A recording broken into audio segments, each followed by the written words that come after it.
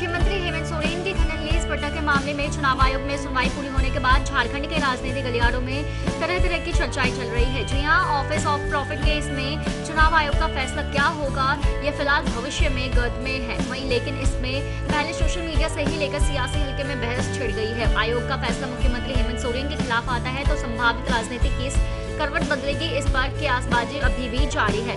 वहीं शनिवार को महागठबंधन के विधायक दलों में भले ही बैठक की घोषित पर सुखाड़ पर हुई हो, लेकिन इसे ताज़ा जानकारी राजनीतिक परिदृश्य से जोड़कर देखा जा रहा है। इस मीटिंग के बाद से भाजपा के सांसद निशिकांत दुबे ने भाभी जी कहते हुए एक ट्वीट किया है। साथ ही यह भी लिखा कि उस पर नाम पर झामुमो के वरिष्ठ विधायक व कांग्रेस सहमत नहीं है।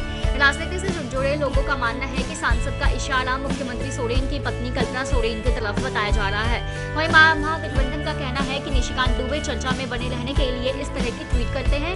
निर्दलीय विधायक सरयू राय ने यह भी कहा कि निशिकांत दुबे ने मान लिया है कि फैसला मुख्यमंत्री के खिलाफ आएगा। मुझे लगता है कि चुनाव आयोग का सही फैसला होगा तो सीएम के खिलाफ नहीं होगा।